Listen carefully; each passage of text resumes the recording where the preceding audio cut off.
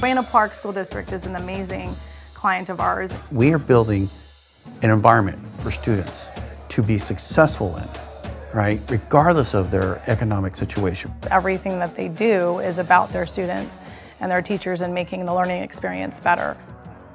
Right now we are we have about 4,100 students, but the diversity is pretty wide.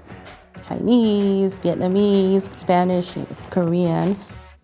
Communication between the district uh, and parents is very important because we do want to have our kids safe at all times and we want to send out the correct information to parents in their language. How can we do something better? How can we make our teachers' lives better? How can we make our education for our students better? And the Workflow Central is one of those technology pieces that we are definitely making good use of. The Translate feature allows me not only to translate a document to Spanish or Korean, it'll let me do it in a single point click. Being able to offer an audio component to our document and have them translate and hear it in Korean or hear it in Spanish, the translated document too, not just be able to read it, is a big benefit.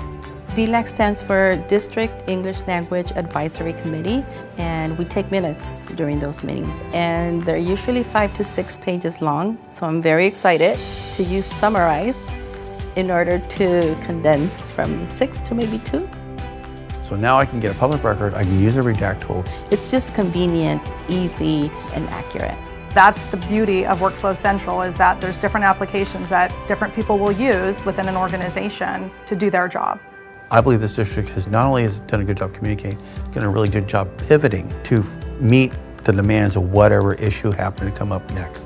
And Workflow Central is a very big part of it. I mean, I'm not kidding when I say everybody uses it. It saves so much time, it's accurate, and it's so easy to use. I can't speak highly enough of how much this system saves us time. And it's a daily tool that gets used at every school site. And when it's not there, I get the phone calls.